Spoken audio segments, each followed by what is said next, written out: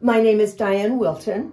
I am just about 75 years old and I had occasion to meet Dr. Dave at the Home and Garden Show, believe it or not. At that time, I was having super problems with sciatica. And I'm a patient of Kaiser, and Kaiser, unfortunately, was not able to give me any kind of answer. So luck would have it, I came here.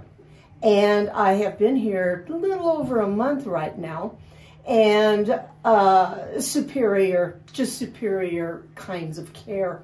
And believe it or not, I have managed to get rid of my sciatica now. So I would encourage anybody to come in and have their spine checked, their neck checked, any other portion of their spine. and thank you very much for that.